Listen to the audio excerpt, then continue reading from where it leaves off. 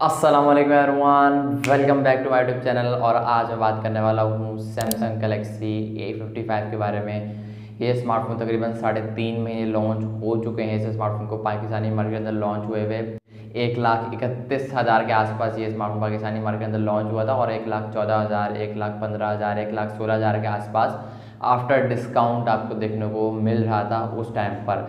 आजकल के current situation की मार्केट की बात करूँ due to 18 percent sales tax काफ़ी ज़्यादा स्मार्टफ़ोन की प्राइसेस कॉस्टली हो चुकी हैं, महँगी हो चुकी हैं। दस हज़ार, बारह हज़ार, पाँच हज़ार, किसी की छः हज़ार। तो due to this tax I think okay लेकिन आजकल मैं कल रिसर्च करके कल बैठा हुआ देख रहा था इस फ़ोन के बारे में रिसर्च कर रहा था तो मैंने काफ़ी ऑनलाइन ऐसी वेबसाइट्स हैं, मैं नाम तो नहीं लूँगा, जहाँ पर ये स्मार्टफ़ोन एक लाख तीस हज़ार, एक लाख उनतीस हज़ार, एक लाख इकतीस हज़ार का भी मिलता मिल रहा है। और ऑफलाइन का मुझे कोई आइडिया नहीं, क्योंकि मैंने चक्कर नहीं लगाया काफ़ी टाइम से तो डेफिनेटली आप लोग ये जाकर पता कर लेना। एक लाख तीस हज़ार के आसपास आते हैं, क्योंकि आपको ऑफलाइन मार्केट में देखने को मिलेगा। अब काफ़ी टाइम हो गया इस फ़ोन को लॉन्च हुए, लगभग साढ़े तीन महीने लॉन्च हो गए, इस स्मार्टफ़ोन को हो चुके हैं। ये स्मार्टफ़ोन आठ जी बी रैम दो सौ छप्पन जी बी वाला वेरियंट लॉन्च हुआ था, एक लाख इकतीस हज़ार स्मार्टफ़ोन की रिटेल प्राइस थी। अगर आप आज के टाइम पर यूज़ में परचेस करते हो तो ये अंडर वन लैख के आसपास मिल जाना चाहिए। नहीं तो एक लाख पाँच, एक लाख दस हज़ार के आसपास आपको देखने को मिलेगा। It's depend on you what you choose बाकी सारा कुछ जानते हैं डिटेल में फ़ोन के बारे में, क्या फ़ोन को लेना चाहिए स्मार्टफ़ोन गेमिंग के लिए कैसा है कैमराज के लिए कैसा है वट एवर जिस यूज़ के लिए भी आप इस फ़ोन को लेना चाह रहे हो उसके लिए, उस यूज़ के लिए स्मार्टफ़ोन कैसा है। मेक श्योर वीडियो के एंड तक ज़रूर देखना। पसंद है तो लाइक करके चैनल को लाजमी सब्सक्राइब करना, क्योंकि मैं इस तरह का interesting content time to time आप लोगों को प्रोवाइड करता रहता हूँ। वीडियो थोड़ी लेट आ रही है, थोड़ा बिज़ी चल रहा हूँ। पीछे आप लोग बैकग्राउंड देख कर अंदाज़ा हो चुका होगा, मैंने चेंज किया है। तो डेट्स बाय मैं थोड़ा बिज़ी चल रहा हूँ। मेक श्योर वीडियो का एंड तक लास्ट में देखना। नया सेटअप थोड़ा रेडी कर रहा हूँ तो उसके लिए थोड़ा बिज़ी हूँ। हम बढ़ते हैं डायरेक्ट वीडियो की तरफ़ और बात करते हैं इस फ़ोन के बारे में। सबसे पहले डिज़ाइन की जो एक काफ़ी मेन जो थीम होती है फ़ोन की थीम तो नहीं होगी मतलब जो डिज़ाइन होता है फ़ोन का, वो एक परफेक्ट लुक देता है फ़ोन को लाइक बायर को कि वो फ़ोन को परचेज़ करे। आप लोग जाते हो, सबसे पहले मैं गारंटी देता हूँ हर कोई डिज़ाइन को देखता है कि फ़ोन दिखने में कैसा है। मैं बात करूँ ना इस Samsung Galaxy A fifty five को डिज़ाइन के तो आप लोग देख देख कर आप लोग भी थक गए होगे हमेशा की तरह मेरी तरह आप लोग थक गए होगे हमेशा की तरह। बिकॉज़ ये स्मार्टफ़ोन जो डिज़ाइन है, काफ़ी टाइम से हम लोग देखते हुए आ रहे हैं। एस सीरीज़ का सेम टू सेम है, जिसको कि एस ट्वेंटी एस ट्वेंटी पता नहीं कौन सा था एस ट्वेंटी वन था एस ट्वेंटी टू था। उसका डिज़ाइन तकरीबन डिट्टो सेम ही है as compare to Samsung Galaxy A fifty five अब सैमसंग की ए सीरीज़ मुझे समझ नहीं आती यार। सैमसंग की पिछली ए सीरीज़ भी देख लो ना ए सीरीज़ में काफ़ी स्मार्टफ़ोन ऐसे हैं जिनके डिज़ाइन तकरीबन सेम है। वही आईफोन वाला हाल है। एप्पल वालों ने डब्बे में से चार्जर गायब किया, अब सैमसंग वालों ने भी कर दिया। काफ़ी टाइम हो चुका है इस बात को मैं आपको अभी बता रहा हूँ। तो लाइक थोड़ी बहुत मुझे कहीं ना कहीं लगता है सैमसंग ये होशियारियाँ कर रहा है एप्पल की तरह। एप्पल की थोड़े बहुत कहीं ना कहीं मुझे मुझे ऐसा लगता है कि कॉपी करने की कोशिश कर रहा बाकी डिपेंड ऑन यू के आप लोग हर एक की अलग अलग सोच होती है। बाकी डिज़ाइन वाइज यार मैं क्या ही बुराई करूँ, अब सही है। खैर एलुमिनियम का फ्रेम है मेटल का फ्रेम ही कहलाएगा।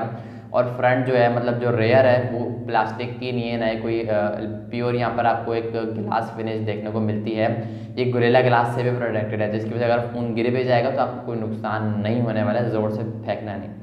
और ये smartphone I P sixty seven की रेटिंग भी लेकर आता है। अच्छा स्क्रैचेस वगैरह भी नहीं पड़ेंगे, लेकिन मैं ये रिकमेंड करूँगा, अगर आप फ़ोन को परचेज कर रहे हो तो कवर वगैरह चढ़ाकर स्मार्टफ़ोन को यूज़ करना। इस बात को आपने लाजमी याद रखना है। बाकी आई पी सिक्सटी सेवन की रेटिंग वगैरह भी देखने को मिलती है। डस्ट स्प्लैश वगैरह रेसिस्टेंट नहीं है भाई प्योर ये स्मार्टफ़ोन एक वाटर प्रूफ फ़ोन है। स्विमिंग पूल में लेकर जाओ, कहीं समंदर वगैरह में जा रहे हो सी वाली साइड पर जा रहे हो बॉल में डाल के आप स्पून को चेक कर सकते हो। अगर तो यूज्ड में ले रहे हो तो ये काम लाजमी करना, ख़रीदने से पहले। दुकानदार को बोलो भाई, पानी का बॉल लेकर आ, जग लेकर आ। उसमें डालना, तकरीबन डेढ़ दो मिनट डाल के चेक करना, पता चल जाएगा। अगर आप डाल लो ना तो फ़ौरन उसको चार्जिंग पे मत लगाना बिकॉज़ पानी सूखने में थोड़ा बहुत टाइम लगता है, जो उसका टाइप सी की पोर्ट है। थोड़ा बहुत तो पानी वगैरह थोड़ी एब्जॉर्व कर लेते तो उसको सूखने में टाइम लगता है। अगर आप फ़ौरन चार्जिंग पे लगाओगे तो उसमें एक सिस्टम लगा हुआ है, वो ऑटोमेटिक डिटेक्ट कर लेगा कि इसमें ये पानी अभी सूखेगा, तभी ये स्मार्टफ़ोन चार्ज होगा। काफ़ी समझदार फ़ोन है भाई, हमसे भी ज़्यादा। खैर फ्रंट डिस्प्ले की बात करूँ ना तो ये वो पॉइंट है, यहाँ पर 85 percent screen to body ratio है। पिछली सीरीज़ की बात करूँ तो वहाँ पे भी as compare to Samsung Galaxy fifty four fifty three उसमें भी यही सीन था। भाई, आजकल के टाइम पर लोग यही डिमांड कर रहे हैं बेजल लेस डिस्प्ले हो और चिन वगैरह ना हो, इन लोगों ने उसका उल्टा करा। यहाँ पर आपको बड़े बड़े बेजल्स देखने को मिलेंगे। अगर आप एक ऐसे बंदे हो जिसको बेजल लेस डिस्प्ले चाहिए तो this phone is definitely for not for you थोड़ी बहुत इंग्लिश बोल रहा हूँ। खैर, अगर आपको एक ऐसी डिस्प्ले चाहिए जिसकी सेचुरेशन काफ़ी अच्छी हो ब्राइटनेस काफ़ी बेहतरीन हो नेचुरल कलर ये निकाल कर देता है फ्रंट पे डिस्प्ले में सेंसर भी है बिकॉज़ ये एक सुपर एमुलेट पैनल है जिसकी वजह से स्क्रीन के जो कलर्स हैं वो काफ़ी कमाल के निकल कर आते हैं। 6.6 पॉइंट सिक्स इंचज़ का एक हैंडी फ़ोन है सुपर एमुलेट डिस्प्ले है फुल एचडी प्लस की रेजोल्यूशन है। और यहाँ पर हंड्रेड 120 हर्ट्ज का रिफ्रेश रेट भी है, जिसकी वजह से आपको काफ़ी स्मूथनेस वाली फील आने वाली है। स्क्रोलिंग करते वक्त बिकॉज़ यहाँ पर U F S three point one का स्टोरेज सपोर्ट भी देखने को मिलता है, और आठ जी बी दो सौ छप्पन जी वाला वेरियंट है। और आप आठ को आठ जी बी के साथ एक्सपेंड भी कर सकते हो वर्चुअल रैम का सपोर्ट आपको देखने को मिलता है। बाकी अंडर डिस्प्ले सेंसर है, यहाँ पर हाई ब्राइटनेस मोड का सपोर्ट आपको देखने को मिलता है, जो कि थाउज़ेंड निट्स है। फ्रंट से ये स्मार्टफ़ोन गुरेला ग्लास विक्टस से प्रोटेक्टेड है। तो ये चीज़ मुझे काफ़ी अच्छी लगी। बाकी H D R ten plus का सपोर्ट भी है यूट्यूब के अंदर स्पेशली तो आप फोर के एट के तक वीडियोस को वॉच कर सकते हो डेफिनेटली अगर तो जिस बंदे ने वीडियो डाली उसमें ऑप्शन होगा तो। तो लाइक कहने का मतलब ये आप फुल एच में वीडियो को देख सकते हो। और कॉड एच में भी आप देख सकते हो डेफिनेटली बिकॉज़ यहाँ पर एक सुपर एमोलेट पैनल है। एच डी टेन का टेन प्लस का सपोर्ट अमूमन तौर पर यूट्यूब नेटफ्लिक्स वगैरह में देखने को नहीं मिलता है, लेकिन यहाँ पर आपको देखने को मिलता है। तो ये चीज़ मुझे काफ़ी अच्छी लगी। अच्छा यहाँ पर एक डाउनग्रेड लगा। यहाँ पर आठ जी बी रैम दो सौ छप्पन जी वाला वेरियंट है और एक लाख से ऊपर इस स्मार्टफ़ोन की प्राइस है।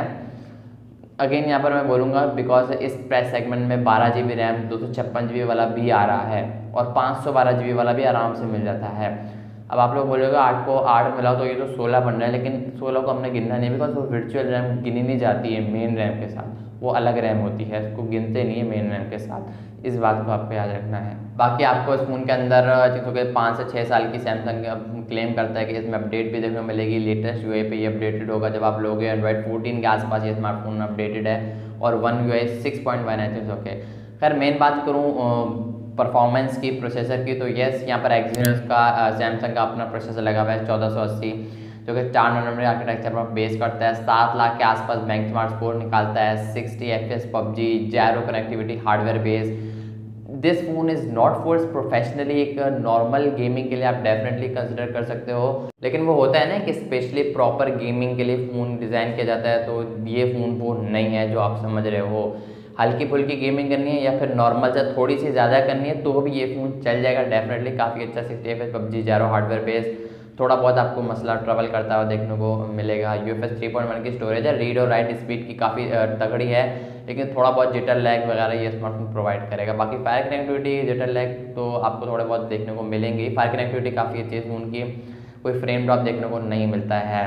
हीटअप का इशू देखने को नहीं मिलता है या फिर मिलता है, इस चीज़ के बारे में स्टिल कुछ कन्फर्मेशन देखने को नहीं मिलती है। जहाँ तक मेरी रिसर्च है, इतना ज़्यादा हीट नहीं करता है। अगर आप यूज़ में लोगे तो मे भी अब पता नहीं किस तरह जिस बंदे ने सेल किया होगा दुकानदार को, अब उसने किस तरह यूज़ किया होगा, इस बारे में कुछ कह नहीं सकता।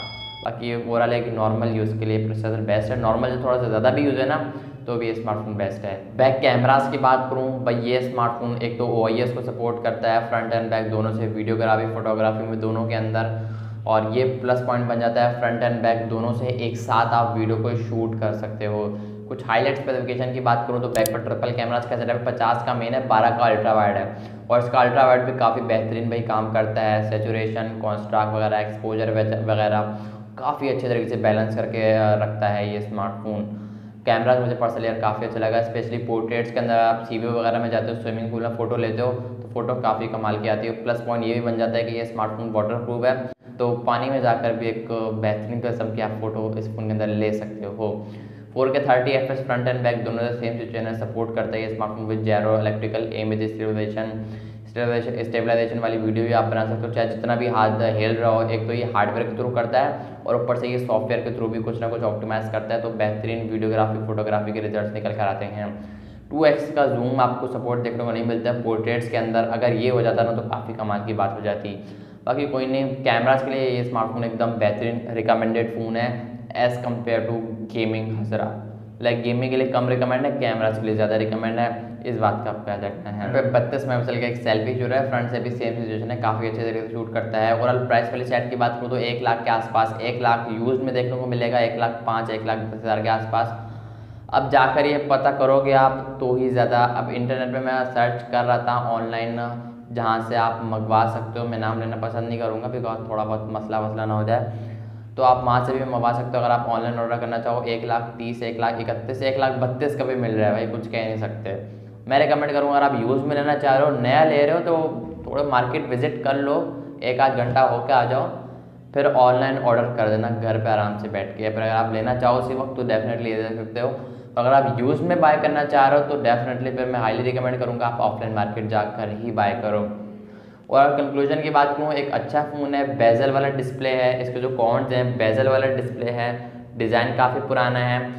प्रोसेसर इतना अच्छा वाला यूज़ नहीं किया गया, लेकिन स्टिल काफ़ी अच्छा है। ये तीन, दो तीन कॉन्ट्स थे। प्रोन्स की बात करूँ, थोड़े बहुत मसले मसाले देखो, हर फ़ोन में होते हैं। और अगर मैं अच्छी, इसके अच्छी अच्छी चीज़ों की बात करूँ कैमरास काफ़ी अच्छे हैं डिस्प्ले के कलर्स काफ़ी अच्छे हैं, और डिज़ाइन मुझे पर्सनली काफ़ी पसंद आया, बाकी इट्स डिपेंड ऑन यू बाकी पाँच एम की बैटरी इसमें पच्चीस वाट की चार्जिंग का सपोर्ट देखने को मिलता है ओवरऑल अगर आप फोटोग्राफी में इंटरेस्ट रखते हो और अगर आप थोड़ी बहुत हल्की फुल्की गेमिंग भी करना है तो ये स्मार्टफ़ोन एक बेस्ट ऑप्शन बन सकता है। आपके पास आई होप कि आपको आज की वीडियो पसंद हो तो वीडियो को लाइक करके चैनल को आज भी सब्सक्राइब करना। मैं बनूँगा आप लोगों नेक्स्ट वीडियो किसी और फ़ोन के रिव्यू के साथ किसी और अपकमिंग के साथ। तब तक के लिए इजाज़त दीजिए। अल्लाह हाफिज़।